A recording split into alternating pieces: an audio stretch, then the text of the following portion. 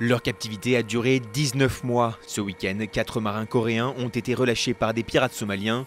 Les quatre Coréens naviguaient à bord du MT Gemini, un pétrolier basé à Singapour. Avec eux, 21 autres membres de l'équipage finalement relâchés avec le bateau 7 mois après leur capture. Pour les quatre marins restés prisonniers, l'attente a été longue.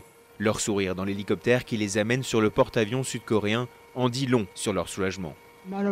Je n'ai qu'une seule chose à dire, merci beaucoup. Mon équipage a vécu des moments très difficiles et c'est ma faute. Soulagement mais aussi reconnaissance pour leur président qui ne les a pas oubliés. Je remercie le président et tous les Coréens qui se sont inquiétés de notre situation. Je remercie aussi tous les membres de l'équipage du bateau qui sont venus pour nous.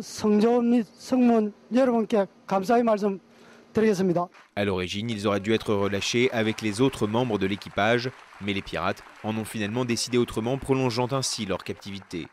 Les négociations ont pris du temps et Séoul n'a jamais voulu entendre parler de la libération de cinq pirates somaliens capturés eux lors d'une opération commando dans le golfe d'Aden.